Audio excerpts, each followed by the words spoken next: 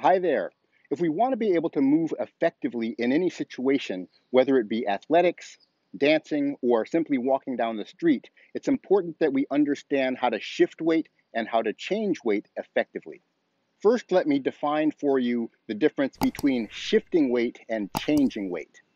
When we shift weight, we are simply shifting the spine or the center of gravity from one leg to the other leg. So I shift my weight to the left, to the right, to the left, and to the right. Changing weight is a little bit more complicated. Changing weight involves which leg I am rooted or tethered to. When I use my core properly, I can tether one leg to the ground, creating a root, which takes energy up from the ground through my leg to the spine, and I am moving around the axis of this leg and that root on the ground. So even though my spine is moving from side to side here, I am using my core to root my body to the right leg. So I'm essentially pivoting around this right leg axis, even if I step around it in different ways and shift back and forth, I am always rooted to this right leg. And I'm doing that with my right lower abdominal muscles that are rotating backwards, tucking the pelvis, and pushing energy down into that right leg. When I'm doing that, my left lower abdominal muscles are inactive or not engaged because they're not going to root my left leg at the same time we only keep root on one leg at a time. So I can pivot around my right leg. In Tai Chi, if someone were, someone were to try to push me over, I would be rooted to that right leg with my lower abdominal muscles. Versus if I allowed myself to get unrooted as I got pushed, meaning my lower abdominal muscles shift to this side, that would unroot my right leg and allow me to be pushed over. So, in all situations, we're going to be rooting one leg or the other leg. One of the Tai Chi fundamental principles is never be double weighted. And in a sense, that means double rooted because our lower abdominal muscles root one leg at a time. If I show you from the side position, I'm rooted to my right leg. If I root my left leg at the same time, what happens is you get this double tucking of the pelvis and creates an unstable position. It also keeps my center of gravity split between the two legs in a way I have no axis to pivot around. Now you can see me trying to pivot around the axis of my legs, and you see I can't really go anywhere. I'm stuck because I don't have a single root. When I root one leg, now I have a single root to move around, and I can move much more effectively as long as I keep that root. I can unroot myself voluntarily and then root the other leg and balance in one position and then replace and decide what leg at what point in time is going to have the root on it. So let's talk about how we use our core properly to shift weight or to shift the root or the weight change. We are always using three parts of our core to control any movement. I'm using my upper waist rotation, the upper abdominal muscles. This controls direction that I'm facing. I use my left upper abdominal muscles to turn the body to face to the right.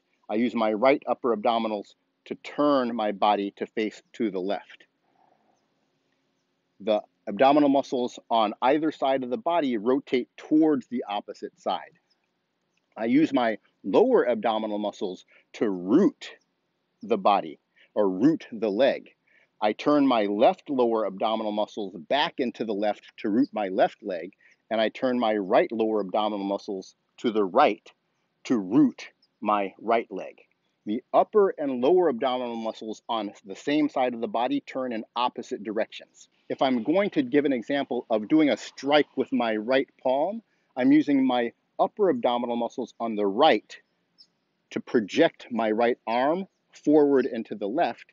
And I'm using my right lower abdominal muscles to turn back pushing energy down through my leg into the ground. And at the same time, I'm also going to use my gluteus maximus on the right to push down into the ground at the same time, all combining to project the right arm out. So I have my upper abdominal muscles on the right turning to the left, my lower abdominal muscles on the right turning to the right, and activation of my gluteus maximus muscles, all to make that one movement of projecting the palm.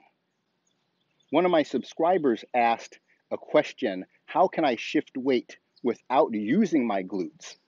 In this action of striking with the palm, I used my glutes because I wanted to do an aggressive motion striking out with the palm. So I needed all of the energy possible pushing down against the ground to project my body to the left.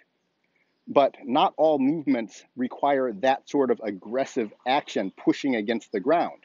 If I want to just shift my weight from right to left like this, I don't need to push against the ground because there's no force that I'm trying to overcome.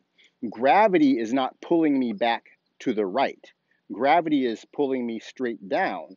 So I don't need any force of muscle to be able to shift from one side to the other. All I need to do is change the root from right to left, and I change my upper torso rotation from right to left. And at the same time, if I flex my right hip and lift it up, I'm going to change all that at the same time. And that's going to shift my weight and change my weight at the same time. So now I'm balanced on the left leg. I did not have to push myself over to the left before changing the weight. All I need to do is use all of the core muscles in conjunction with each other, turning energy towards that side. Upper torso rotation, lower torso rotation, and then I simply lift my right hip up, and my weight is effectively shifted and changed at the same time. I can also shift weight to the left without changing the root and without using the glutes by continuing to flex my right hip, root the right leg with my lower abdominal muscles, and turn my upper torso on the right to the left. And I am now shifting in a much gentler way from right to left. But I am not pushing. I'm not pushing down with my glutes. So I don't need energy from my glutes pushing down against the ground. I have my root pushing against the ground, which is the lower abdominal muscles turning back, rotating my pelvis back to the right. That energy from the lower abdominal muscles is what is effectively pushing off the ground, not the glutes. And then I'm using my right arm or my right upper torso to project the right arm in a much more gentle fashion. At this point in time, I'm actually flexing my right hip, meaning I am trying to lift my right hip, but it is the root from the lower abs that are keeping the right leg connected to the ground, not my glutes. If I were to stay in this position and now activate my glutes, what would happen is I would push myself over. That's an ineffective movement because I actually lost my root by using too much force against the ground. I already had the right amount of force with my lower abdominal muscles turning towards the right, lifting my right leg up and turning my upper torso to the left. By pushing with the glutes, I push myself over, which clearly is not what I wanted to do. Using the wrong combination of muscles is common for many people in walking, athletics, and dancing. I know from my dance group, some of the dancers who are less experienced have an issue when they're trying to dance in a relaxed manner, shifting from one side to the other, but they can't stop from popping themselves up because they're trying to use their glutes to shift weight instead of just using the core in the right manner. I am not using my glutes to change weight. I'm using my hip flexors and my lower abdomen to change weight, to shift weight, and to move fluidly there's no pushing action here. I am not using my glutes in any manner. I'm lifting my right hip. Now I'm lifting my left hip and I'm changing the root using my lower abdomen from one side to the other at the same time. That's a much different action than pushing from left to right. That's using my glutes. I don't need to do that in a lot of situations or even in most situations. So it's important to understand that if I want to shift weight from this side to that side fluidly without force, I shouldn't be pushing down against the ground with my gluteus maximus muscles in the butt. I am pushing down against the ground with the root and at the same time flexing, pulling forward essentially with my right hip. Once we release the root, you can see that that right hip was flexing all the time. It was only the root that was keeping the leg connected to the ground. If you understand that, you'll be able to move and shift weight much more fluidly and effectively without always pushing down with so much force which can be problematic in many situations. I hope you enjoyed this video. If you did, click the like button, share the video, and subscribe to the channel if you're not already a subscriber. And I also do want you to join the channel as a member to show your support. Thanks for watching.